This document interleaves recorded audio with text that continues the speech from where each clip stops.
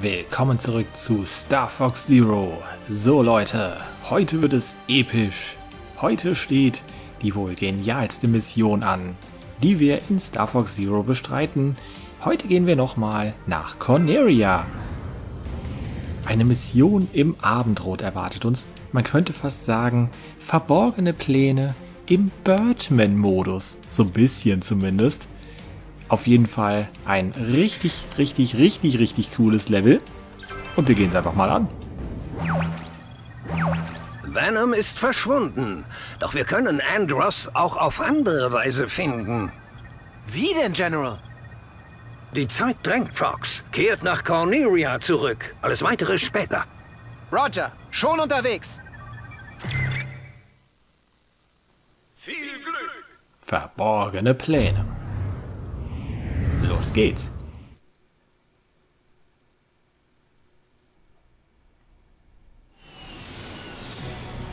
Ha, los geht's, Leute. Ich freue mich. Die coolste Mission steht an. Corneria im Abendrot. Und, Leute, das wird sowas von episch werden. Genießt es. Lehnt euch zurück. Ich mach das hier mal eben. Und das gefällt mir nicht. Nö, das gefällt mir nicht. Zwölf Hits. Nee, das kann ich nicht so stehen lassen. Das geht gar nicht. Entschuldigung, ich habe auch Ansprüche. Ich habe ein bisschen Niveau. So, los geht's. Jetzt von vorne. Jetzt aber gut. so, genießt es. Lehnt euch zurück. Genießt die Angriffswellen, die jetzt auf uns zukommen. Eine Mission, die mich seinerzeit wirklich, wirklich geflasht hat. Das muss ich wirklich sagen.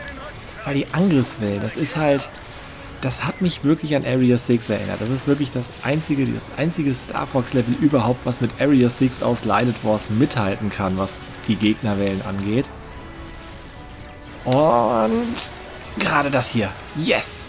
Yes, das hat wunderbar hingehauen. Das hat Spaß gemacht. So. wow, wir haben jetzt schon 88 Hits. Das ist ziemlich gut. Und ich muss mich jetzt hier ganz schön konzentrieren, weil es ist echt, echt anstrengend, hier alle zu erwischen. Und vor allem dabei nicht selber getroffen zu werden, weil mit dem schwarzen A-Wing haben wir es natürlich relativ schwer. Das äh, kommt noch dazu. Wir dürfen hier nicht allzu oft getroffen werden. Also dieses Level ist ziemlich happig. Ziemlich, ziemlich happig. Und auch von der Abschusszahl, die erreicht werden muss, relativ schwierig. 370 Hits werden gebraucht. Und das ist wirklich ohne den schwarzen A-Wing relativ schwierig, relativ anspruchsvoll, muss ich sagen. Geübte Spieler schaffen hier über 600 Hits. Ich bin froh, wenn ich über 400 hinauskomme, aber ich habe auch noch nicht allzu viel Übung in dem Level. Ich kann nur so viel sagen. Ah, shit, jetzt haben wir schon sehr, sehr viel Energie verloren. Jetzt muss ich kleinere Brötchen backen. Das lief jetzt auch nicht mehr so gut. Jetzt muss ich natürlich, jetzt werde ich noch mal eine riesige Bombe nee, einfach mal eine Bombe reinschmeißen hier, weil äh, nicht, dass mir jetzt hier irgendeiner aus irgendeinem Winkel erwischt, weil ein Hit und wir werden, ja, leider ins Nirvana gehen. Das muss nicht unbedingt sein, deswegen muss ich jetzt hier leider ein paar Hits liegen lassen, aber Hauptsache wir überleben. Puh, und nochmal ein Hit plus 5 mitgenommen. Also, nehmt euch bei denen in Acht, bleibt hier oben, lasst euch nicht vor dem Feuer treffen. So, und bei denen passt auf, gefährliche Ringe. Und jetzt, Leute, hier kommt gleich nochmal eine Stelle, an der man richtig viele Hits liegen lassen kann, wenn man, ja, so wie ich jetzt gerade, wenn man die zu sehr durchgehen lässt. Ich habe jetzt natürlich nur noch eine Bombe. Ah, schaffen wir das, schaffen wir das, schaffen wir das, schaffen wir das, schaffen wir das? Wir schaffen es. Wir haben es relativ gut, ja, 303. Irgendwo, irgendwo muss ich ganz schön viele Hits liegen gelassen haben. Aber das war jetzt wahrscheinlich einfach die Stelle, wo ich so viel Energie verloren habe. Okay, egal. Über 300, bin zufrieden. Und jetzt kommt Phase 2. Das geht viel zu schnell. Das hat doch Spaß gemacht. Warum ist das so schnell vorbei? Ja, ein netter Empfang. Entschuldigt, ich habe euch nie ausreden lassen. Aber ich mag es so, über diese Mission zu reden, tatsächlich. Sie wäre noch schöner mit einer gescheiten Steuerung. es tut mir leid. Es ist einfach so. Ähm, aber wir kommen auch so damit zurecht. ärgert mich manchmal. Weil ich merke es gerade bei diesem Level, es nervt teilweise ungemein, dass sich der Ausgangspunkt eures Fadenkreuzes hier so oft verschiebt, dass ich es immer wieder justieren muss.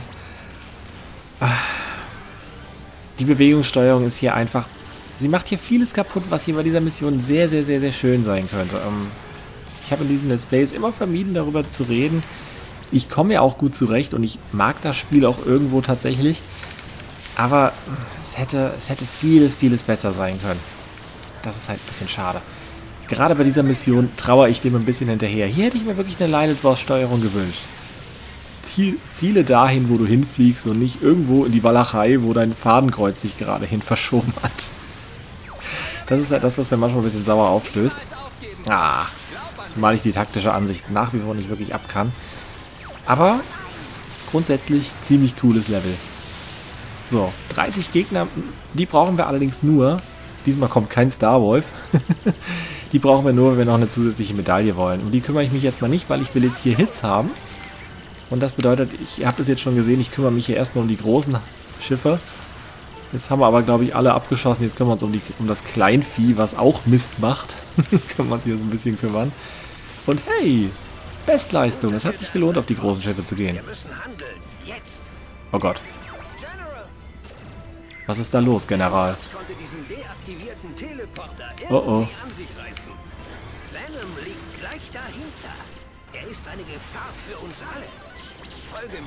Ist Zeit.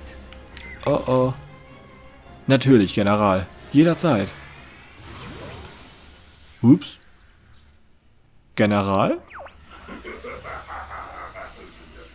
Ach, Slippy.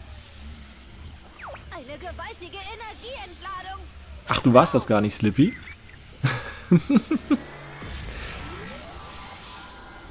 oh mein Gott. Der Leader of the Bunch. You know him well, Peppy. You know him well.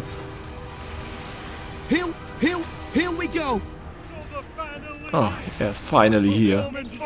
Und performt für uns.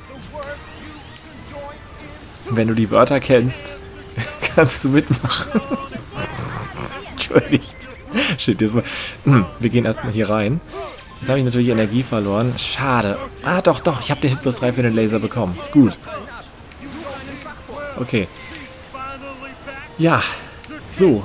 Eine Schwachstelle. Hm, dieses kleine, unauffällige rote X könnte doch eine Schwachstelle sein. Ach ja, ähm...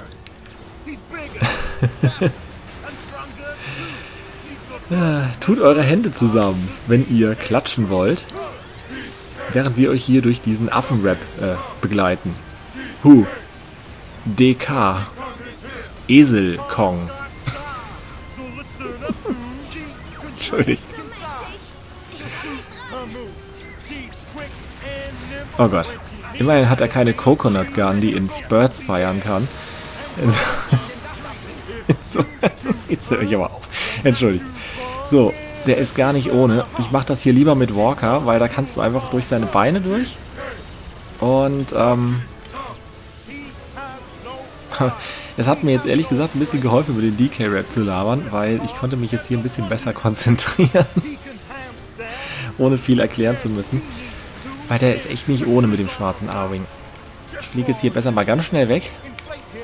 Und so, taktische Ansicht ist hier insofern taktisch tatsächlich mal klug, weil ihr so ähm, euch ein bisschen besser orientieren könnt. So, jetzt haben wir die Klappe auf. Der hat die Klappe etwas zu weit aufgerissen jetzt. Und jetzt schnappen wir ihn uns. Jetzt ist Schicht im Schacht, werter Herr Gigarilla. Jetzt ist Schicht im Schacht. Fuck. Fuck, ey. So, wir müssen ihn nämlich jetzt hacken. Und neuer Versuch. Oh, shit. Da hätte ich einfach, da hätte ich früher die A-Taste drücken müssen. So, dritter Versuch. Alle guten Dinge sind ja bekanntlich drei. Hm. Wir haben's. Wir haben ihn geschafft.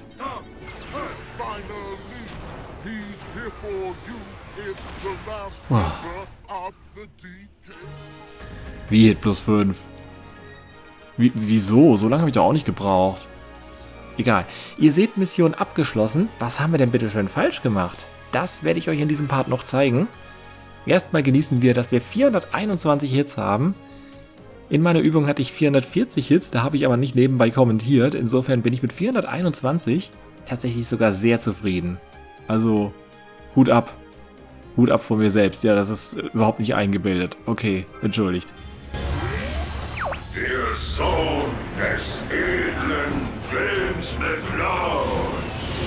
Sagst es, Andros. Andros! Das ist Andros? Nein, das ist deine Mutter. Schon lange deines Erscheinens. Schaut! Das Portal schließt sich! Bleibt, wo ihr seid. Das übernehme ich allein. Fox! Fox!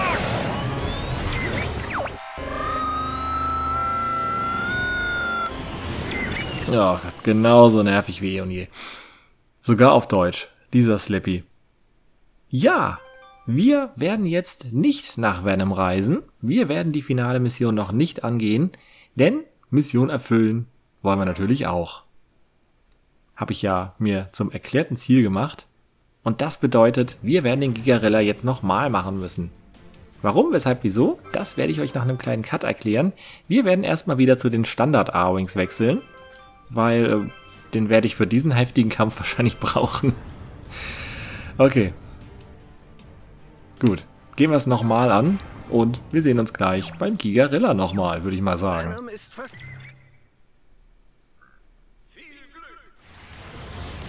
Gut, dass ihr da seid, Fox. Wir müssen handeln. Gut, dass wir wieder da sind.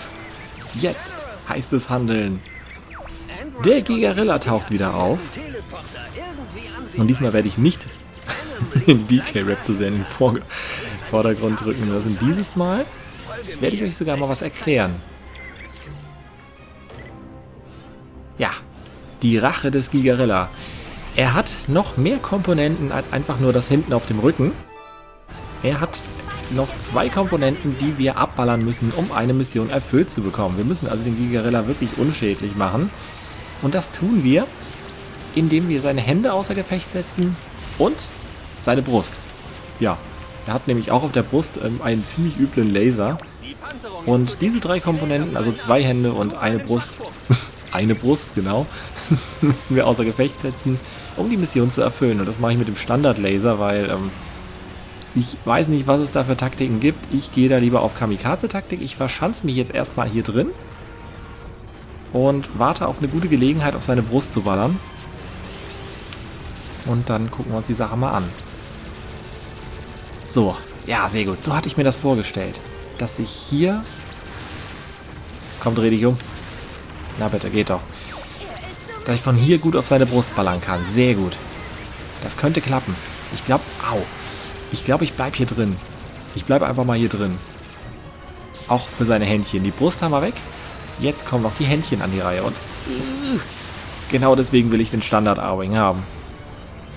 Weil mit dem schwarzen A-Wing wären wir jetzt schon platt. So.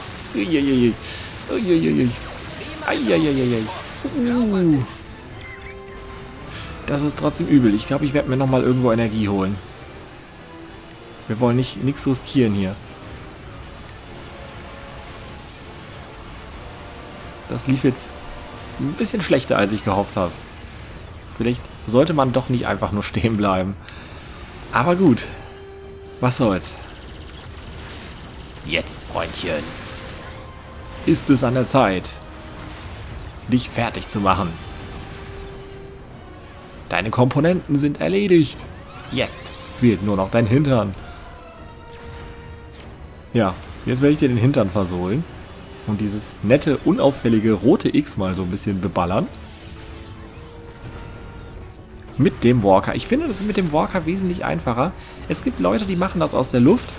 Ich finde das verdammt gefährlich. ich mache lieber von unten. Weil du kannst wirklich durch seine Beine durch, dann dich einmal kurz rumdrehen. Äh, das hat jetzt, ja, das war Vorführeffekt. So, jetzt aber. Und dann drauf. Durch die Beine durch und drauf. Hinten drauf. Ähnlich wie bei Ganon in Ocarina of Time. Das ist eine sehr, sehr einfache Taktik. So mache ich ihn mal platt. Oh shit, jetzt müssen wir aber jetzt müssen wir die Beine in die Hand nehmen. Beziehungsweise die Walker-Beinchen wegstecken und mal kurz wegfliegen. Und jetzt mal wieder hier durch. Und dann, aber dann, aber dann, sagen alle, typisch Fox. So, weil jetzt ist es an der Zeit, ihn fertig zu machen. Er hat mal wieder die Klappe zu weit aufgerissen. Und dieses Mal bitte, Fox, nicht erst beim fünften Anflug da drauf landen. Oh, weißt du. Du altes Hühnchen. Warum ist er da runtergefallen? Okay, probieren wir es nochmal. Versuch macht klug. Und... Ah, oh, daneben. Aber vielleicht, ich probiere es jetzt mal so. vielleicht können wir ihn noch hinterher fliegen. Oh, shit. Shit, shit, shit, shit. Boah, gut. Die Raketen haben uns hier drauf geschoben. Wir haben es geschafft. Wir haben die Mission erfüllt. Hände sind weg, Brust ist weg, Hintern besiegt, Hit plus 10, obwohl ich länger gebraucht habe als vorhin. Das verstehe ich jetzt auch nicht, aber gut. Und die Hits lassen wir mal in Ruhe, weil...